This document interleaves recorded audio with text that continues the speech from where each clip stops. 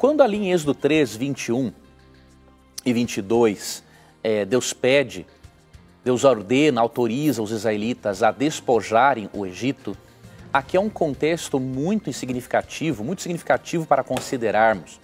Primeiro, no verso 22, é dito assim: Todas as israelitas pedirão às suas vizinhas e às mulheres que estiverem hospedando em casa objetos de prata e de ouro.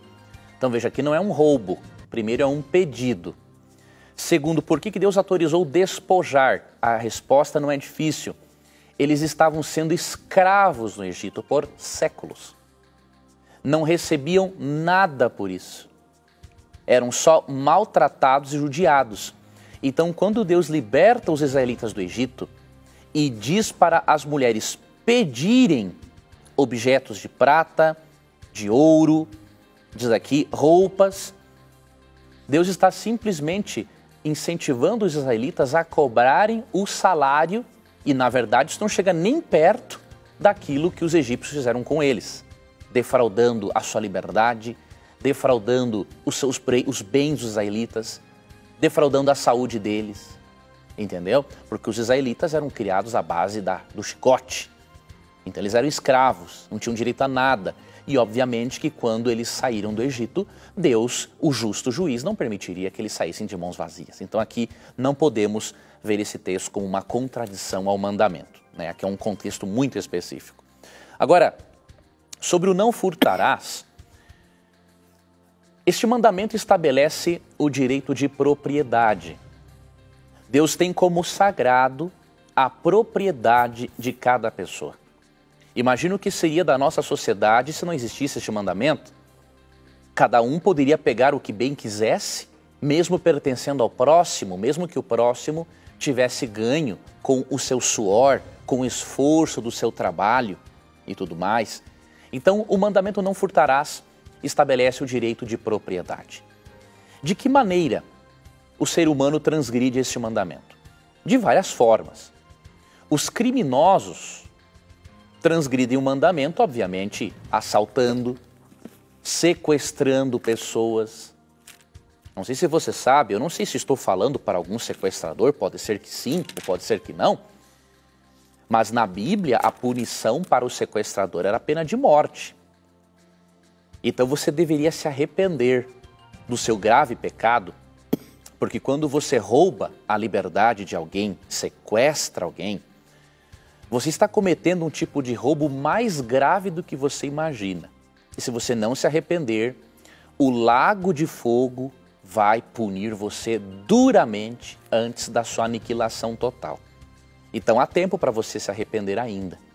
Enquanto Jesus não voltar, e nós sabemos que está breve a volta dele pelos sinais que estão se cumprindo, enquanto Jesus não voltar, você pode se arrepender. Você pode desistir da ideia de sequestrar alguém, ou se você sequestrou alguém, você pode mudar de ideia e libertar esta pessoa. Não brinque com a misericórdia de Deus, Deus é muito bondoso. Mas vai chegar o momento em que ele vai executar o juízo e com muita força. Então, esse é um tipo de roubo gravíssimo para Deus, quando você rouba a liberdade de alguém. Uma outra forma como se rouba, obviamente, muitas vezes não é um crime direto, mas é um crime indireto. Quando defraudamos para não pagar nossos impostos justos, não é? Quando um patrão não paga o que é devido ao seu funcionário, ele está roubando. Quando um empregado desperdiça suas horas de trabalho e não faz um trabalho com dedicação, ele também está roubando o empregador. Então nós roubamos de várias formas. E às vezes pensamos que por serem coisas pequenas e simples, Deus vai simplesmente ignorar. É óbvio que Deus é misericordioso e perdoa qualquer pecado, mas lembre-se que o nosso caráter é feito nesses pequenos detalhes. Se você acostuma-se a roubar um lápis, depois vai ser mais fácil roubar uma caneta, roubar uma roupa e por aí vai.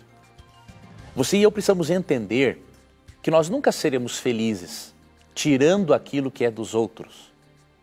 Nós seremos felizes quando conquistarmos aquilo que é nosso por meio do nosso trabalho e como resultado da bênção de Deus. Aquilo que é conseguido de forma criminosa tem pouco valor e a duração também é muito pouca. Porque mais cedo ou mais tarde, as leis que Deus estabeleceu, sejam naturais ou espirituais, vão cobrar o preço. Então não vale a pena, amigo telespectador e ouvinte, defraudar ninguém, roubar de ninguém. Porque aquilo que você faz, por mais pequeno que seja, o prejuízo será muito maior no futuro, porque há leis naturais e espirituais que Deus estabeleceu e que, se forem transgredidas, obviamente o ser humano vai colher aquilo que plantar, de acordo com Gálatas 6, versículo 7. Deus odeia o roubo. Em Isaías 61, 8, é dito que Deus odeia o roubo e qualquer outro tipo de maldade. Porém, Deus ama o pecador. E se você defraudou alguém, se você tem o costume de roubar alguém, e agora mesmo você pedir a Deus perdão pelo seu pecado, não tenha dúvida alguma, a graça de Cristo vai perdoar você. Peça a Deus um arrependimento sincero e jamais faça para as pessoas, jamais faça para os bens das outras pessoas aquilo que você não gostaria que fizessem para os seus bens materiais. Temos que lembrar do princípio de Mateus 7,12. Né? Não devemos fazer alguém aquilo que não gostaríamos que fizesse a nós. Então não roube alguém se você não gostaria de ser roubado. Não assalte alguém se você não gostaria de ser assaltado. Não sequestre alguém se você não gostaria que sequestrasse um filho seu, sua mãe, seu pai, seu irmão. Aproveite esta mensagem objetiva e direta, bíblica, para pedir a Deus ajuda, para pedir a Deus perdão e pode ter certeza, a graça de Cristo, que é infinitamente maior que os nossos pecados, vai proporcionar a você o perdão que você precisa. Dê atenção ao mandamento e a bênção de Deus acompanhará a sua vida também.